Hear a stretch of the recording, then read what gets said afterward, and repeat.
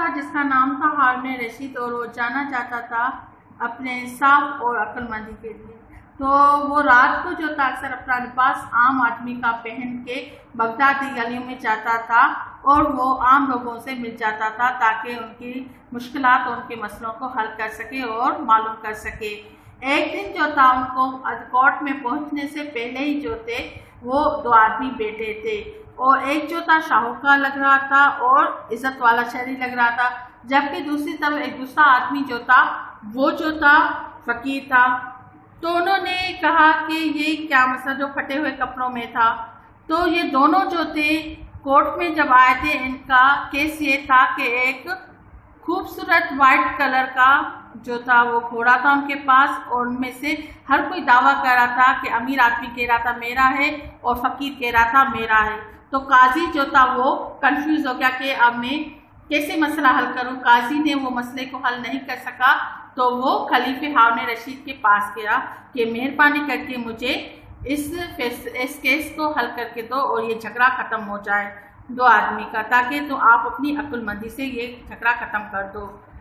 और उन्होंने कहा, ये बहुत मुश्किल केस है और मैं यकीन करता हूँ कि आप इसको आसानी से हल कर सकोगे। तो खलीफे ने सबसे पहले कहा, पूछा कि मसला कौन सा है? डिस्प्यूट झगड़ा, मना किस बात पे? कौन सा मसला है? तो दो आदमी जो थे, वो लड़ रहे थे एक वाइट हॉर्स पे। और हर कोई दावा कर रहा था और कस्में खा रहा था कि ये घोड़ा मेरा है। तो खलीफे ने सबसे पहले जो था, जो वेल ड्रेसेस में था, उनको कहा कि आ जाओ और बयान करो क्या कहना चाहते हो। तो जो अमीर लोग, जो वेल ड्रेसेस में था, उन्होंने स्टेम फॉरवर्ड एक कदम आगे बढ़ाया। उन्होंने कहा एक खलीफा, और मेरी बात सुनो, अब आज जब मैं सुबह जा रहा था और सवारी करके शहर की तरफ़ तो मैंने देखा कि एक लंगड़ा कर फकीर चढ़ रहा है मेरे सामने और उन्होंने मुझे रोकने को कहा कि रुक जाओ। तो क्योंकि मैं रुक गया, अपने घरों को स्टॉप कर दिया और मैंने कहा कि ये लंग रहा है ये हेल्प मांग रहा है मुझसे। तो उन्होंने उसे पूछा, क्या फ़कीर तो फ़कीर से पूछा कि क्या? तो फ़कीर ने कहा कि, प्लीज़ मुझे सिटी गेट पे आप छोड़ दें। आप कहाँ जा रहे हो? तो उन्होंने कहा, मैं भी वहीं पे जा रहा हूँ। तो फिर जो वेल्डेसिस वाला आदमी था तो उन्होंने, अमीर जो आदमी था, उन्होंने फकीर को कहा कि, घोड़े के पीछे बैठ जाओ। मैं भी उसी साइड जा रहा हूँ मेन गेट पे। तो उसके बाद जो है वो सिटी गेट पे जब पहुँचे तो अमीर आदमी ने नीचे उतर कर घोड़े से उनको हेल्प के लिए नीचे उतारने, क्योंकि वो लंग रहा था फकीर तो उन्होंने कहा कि फकीर को नीचे उतारने में उसकी मदद करूँ। तो फकीर ने इनकार कर दिया कि मैं नीचे नहीं उतरूँगा, और ये घोड़ा भी मेरा है। तो फिर उन्होंने कहा कि ये घोड़ा मेरा चाहे आप कुछ भी कर लो, मैं आपको ये नहीं दूँगा। उसके बाद उन्होंने इतनी डिफाइन कर लिया, अपना केस बता दिया कि क्या हुआ था उनके साथ वेल ड्रेसेस वाले मैन के साथ। अब उसके बाद जो है बेगर जो था वो आगे बढ़ा और उन्होंने खलीफे को बताया। उन्होंने कहा कि तुम गरीबों के मददगार हो और उनकी रहनमाई करते हो अच्छे तरीके से। और मुझे उम्मीद है कि अक्लमंदी से आप मेरा इंसाफ करोगे खलीफा। और मुझ पर रहम करो इस सालम शख्स से और मुझे इंसाफ चाहिए। और उन्होंने भी कहा कि मैं कसम खा के जो फकीर था, उन्होंने कहा कि मैं कसम खा के कहता हूँ, ये घोड़ा मेरा है। और जो कोर्ट में बैठे हैं, वो कोई भी यकीन नहीं करेगा क्योंकि एक फकीर के पास बाकी पहले इतनी कीमती कॉस्टली जो है हॉर्स कैसे आ सकता है?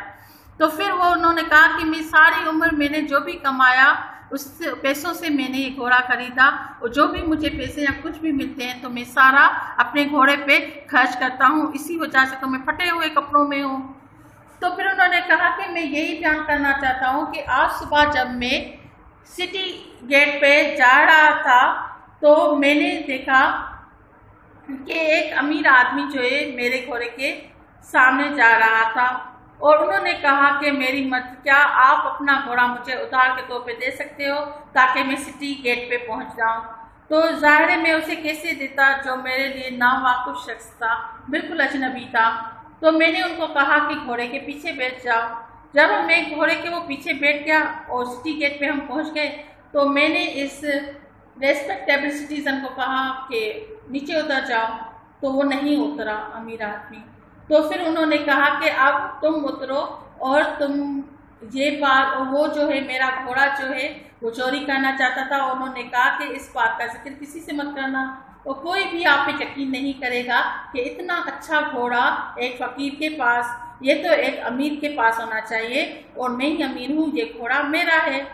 और उन्होंने कहा कि मुझे वापस दिलवा दो। फकीर ने खलीफे को कहा कि मुझे अपना घोड़ा वापस दिलवा दो इस अमीर आदमी से। तो उन्होंने जब ये सारे दोनों के जो है बातें सुनी अमीर और फकीर की तो खलीफे ने कहा कि मैं सोच रहा हूँ कि ये इतना मुश्किल केस नहीं है, ये तो मैं इनका फैसला तो मिनटों में कर सकता हूँ। खलीफे ने काजी को कहा कि मैं इसका हल एक मिनट में कर रहा हूँ। तो उन्होंने सबसे पहले जो है वन इन्होंने कहा कि घोड़े को हाथ लगाएँगे touch of the head one by one एक एक करके आओ। तो खलीफे ने सबसे पहले जो था, वो फकीर को बुलाया, उनको कहा कि तुम टच करो हॉर्स को। जब जो था, फकीर था, उन्होंने घोड़े को टच किया तो घोड़ा जो था, उनको वो टच अच्छा नहीं लगा और पीछे हट गया। ऐसे लग रहा था कि जो फकीर का टच है, वो उनको अच्छा नहीं लगा हाथ का। उसके बाद जो है, उन्होंने अमीर आदमी को कहा कि आप जो है हैंड अपना टच करो घोड़े पर। जब उन्होंने टच किया, घोड़े को हाँ अपना हाथ लगाया तो घोड़ा खुशी से नाच रहा था, बहुत खुशी फीलिंग महसूस कर रहा था। तो उन्होंने कहा कि, काजी ने कहा, और खलीफे ने कहा कि, ये घोड़ा जो है, आप अमीर लोग, अमीर आदमी का है, क्योंकि उन्होंने कर उन्होंने कहा कि तुम ही इसके मालिक हो। और खलीफे ने अब फकीर की तरफ़ देखा और उनको कहा कि तुम बहुत झूठे हो जालिम शख्स हो। तुम एक इज़्ज़त वाले शख्स शख्स का घोड़ा जो है वो चोरी करना चाहते थे और उस, और तुम अब आप जो है बहुत सख्त सजा के काबिल हो। मगर मैं तुम पे रहम खाता हूँ और तुमको माफ़ कर देता हूँ इस बार। जबकि ये वो उन्होंने अमीर आदमी को भी कहा कि यहाँ पे आप भी इनको माफ़ कर दें। जबकि अमीर आदमी था, वो उन्होंने पहले ही फकीर को माफ़ कर दिया था और उनसे सॉरी कहा। और उन्होंने अमीर आदमी ने अपने पर्स से मुट्ठी भरकर सोने के जो सिक्के थे, वो निकाले और फकीर को दे दिया। और इस आला अमल को देखकर अमीर जो आदमी का अलामत देखकर जो कोर्ट में हर कोई, एक भी हर कोई शख्स जितने बेटे थे, वो बहुत खुश हुए। थैंक्स